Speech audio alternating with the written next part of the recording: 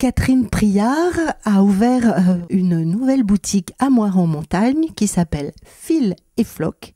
Et ce n'est pas le titre d'une histoire ou de l'histoire d'un livre, c'est bien une petite boutique au cœur de laquelle elle pratique le métier de couturière et de floqueuse. Le flocage, euh, c'est une, une pression en fait qui vient être mise sur le textile euh, d'un flex qui se pose à chaud. Il y a une prédécoupe qui est faite au préalable en fonction de la demande du client. Pour de la publicité, de la promotion, d'enseigne, de marque. Personnalisé, ça peut être, euh, ça peut être ben, pour une entité, pour, euh, euh, pour une association, pour une entreprise, mais aussi beaucoup pour des particuliers, pour faire des petits cadeaux qui font plaisir. Alors par exemple, un, cadeau de naissance avec Ça peut être un, cadeau de naissance, tout à fait.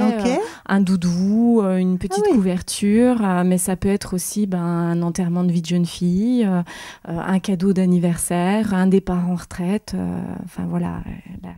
en fait, ça laisse plein de possibilités. C'est peut-être ça aussi qui est intéressant. Oui. Oui, euh, justement, les gens à un moment donné euh, ben, savent qu'ils peuvent demander, euh, ben, que ce soit au niveau de la couleur, au niveau du motif, ils ont un choix qu'ils peuvent ben, faire par rapport à, cette dépose de flocage. Alors on peut aussi floquer alors, des textiles quels qu'ils soient, presque. Hein, Tout à fait. Ça peut aller d'un t-shirt